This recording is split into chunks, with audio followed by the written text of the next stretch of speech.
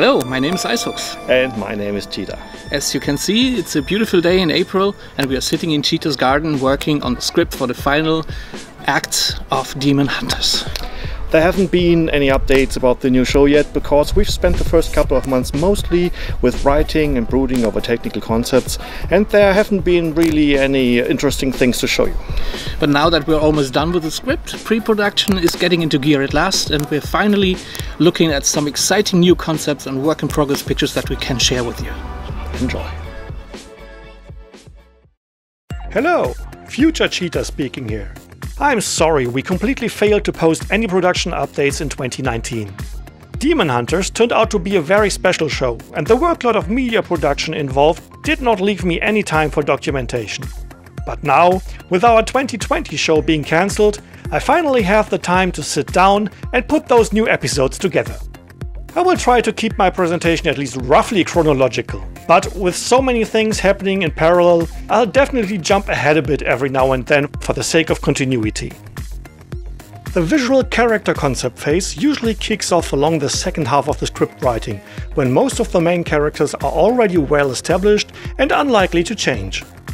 For Alice, the white hare, and Hayes, the spirit wolf, the character designs had to be unusually detailed, at least by our standards.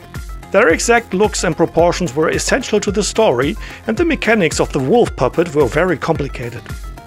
On the other hand, when we found out that we definitely need another custom puppet for the role of Cooper the drummer, pretty late in the writing process, we knew the only way to allow the puppet to be finished in time was to give the makers complete artistic freedom and take all the shortcuts they need we decided to let Theo use an existing fursuit head design as the base. The only requirement was that Cooper had to be a burly male lion fit to be a drummer in a heavy metal band. This is, by the way, where we were completely different from a commercial production. We neither have time nor money to create a completely fresh cast of puppets or to meticulously design every detail of every character. The visual design of a puppet is only defined to the minimum necessary to express its character, and all the details are usually left to the puppet and costume makers.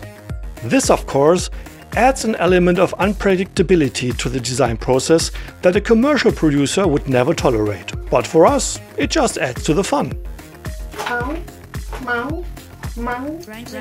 Okay.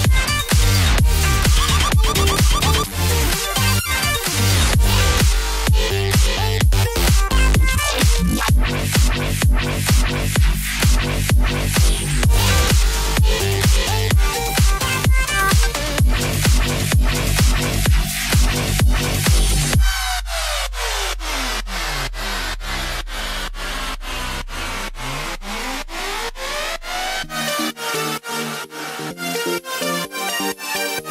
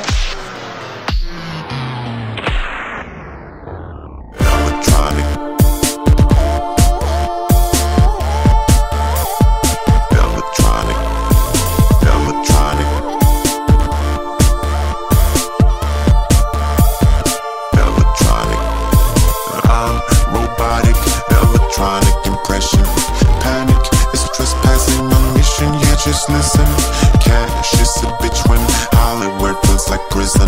My digital decision is Hollywood is suspicious. Electronic, electronic, electronic, electronic, electronic.